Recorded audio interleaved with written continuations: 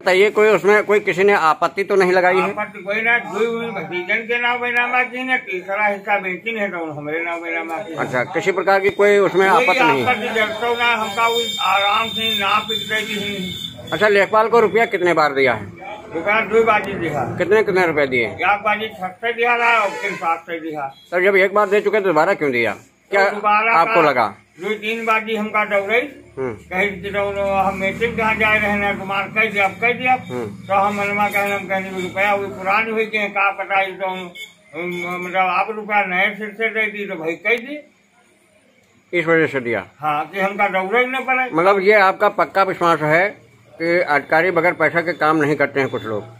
अरे कुछ लोग तो ऐसे हैं ऐसे भैया बात आपके सही है कुछ पैसा भी नहीं है काम ना करें कुछ वैसे हो दी मतलब चार साल बीत गए अब दाखिल खारिज नहीं किया। चार साल हो गए दिमाग दो साल हमका दौड़त हो गई बराबर। इसके दोनों तो पेट्रोल फूंक दिया होगा। तो पेट्रोल भुगे सौ सौ रुपया कोई कोई से देवरिया में हम उधार लेकर गए देवरिया नहीं तो सौ रुपया पेट्रोल का भी दिया तो इस हिसाब से तो चौदह सौ रुपया आपने दिया। हाँ अब तो जागबाजी गए ना है।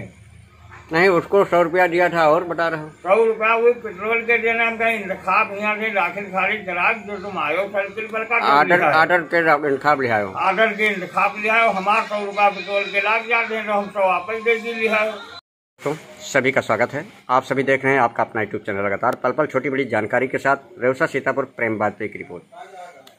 हम आपको दिखा रहे हैं ये जो तस्वीरें आपको देख रही हैं ये पत पत्नी की हैं। और ये जनपद सीतापुर के थाना थान गाँव की ग्राम पंचायत दरिया गाँव की है, जहाँ पे मैं खड़ा हूँ। पूरी घटना से हम रूबरू कराते हैं। कुछ इनको किसी राजस्व के कर्मचारी से दिक्कत है और कई वर्षों से दिक्कत है। लेकिन पूरी घटना से रूबरू कराते हैं, पता करते हैं आखिर कौन सी समस्या है। आज भी लोग अपने उत्तरदायित्व का पूरी तरीके से निर्वहन नहीं कर रहे हैं। क्या नाम है आपका? जंक्शन पिताजी का?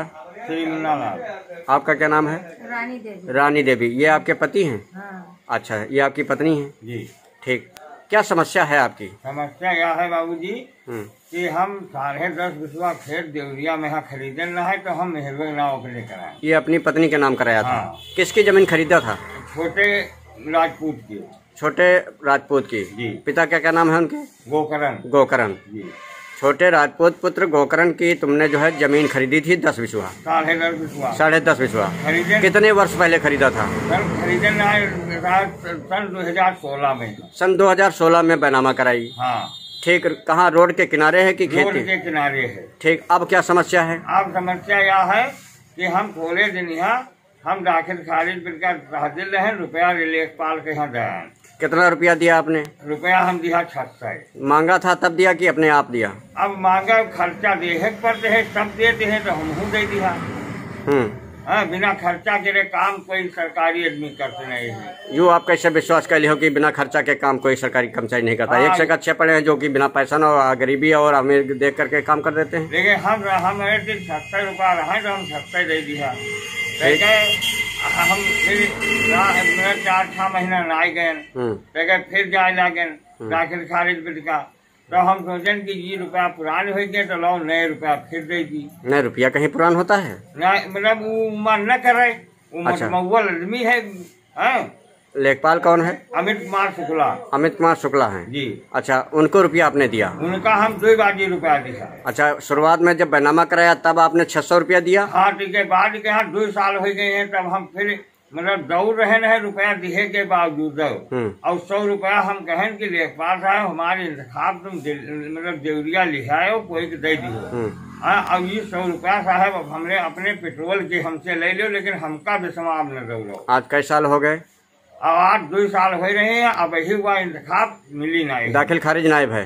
दाखिल खारिज नहीं भई है। तो जब तुमने पहले पैसा उसको दिया था छह सौ हाँ। तो उसके बाद में ना आपने नहीं कहा हमारी दाखिल खारिज हुई कि नहीं हुई क्या कहा उस बात तो वो तारा बतावा कि कहीं राज ने कल लिया दिन दो चार बाजी गए तो हम कह लो फिर दोहराए के रुपया दे दी तो दो साल बीत गए और दो साल तक टारा बताता रहा? हाँ।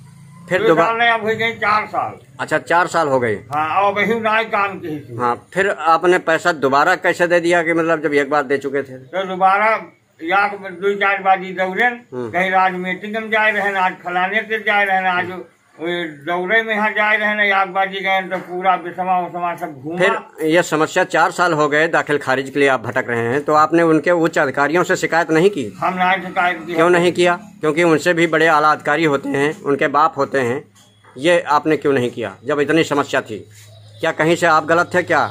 आपने राजस्व में पूरा स्टाम्प लगाया होगा हाँ। पूरा खर्चा दिया होगा हाँ। आपको रसीद मिली होगी। हाँ। फिर आपका जब वो कर्मचारी उसका दायित्व बनता है ये कार्य करे। और जब नहीं किया तो आपको उस आपके साथ उसने दुर्व्यवहार किया या कुछ किया का पैसा लेने के बाद भी काम नहीं किया।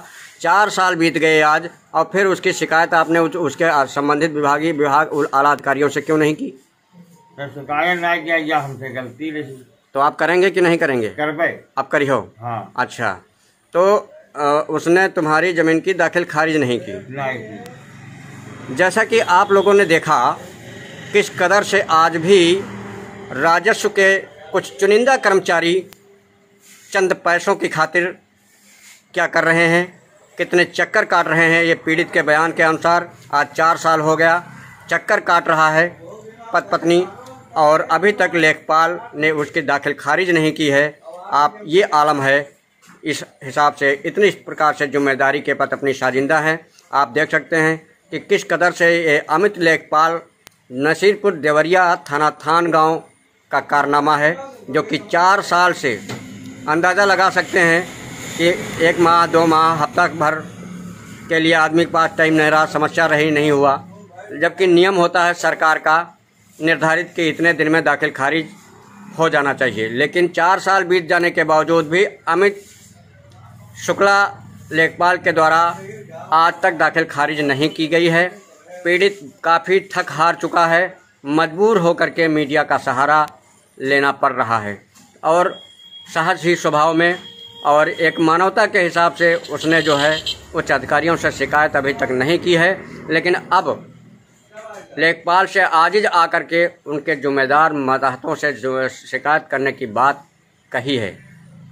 लेकिन बात यूँ ही खत्म नहीं होती कि किस कदर से अपने चंद पैसों कमाने के चक्कर में आज भी ज़िम्मेदारी का पूरी तरीके से इस भाजपा सरकार में भी जो है निभा नहीं रहे हैं और काफ़ी भ्रष्टाचार के आकंठ में डूबे हुए हैं। ये कारनामा अमित शुक्ला, नसीरपुर देवरिया, लेखपाल का है। आप देख सकते हैं, ये तो मामला है।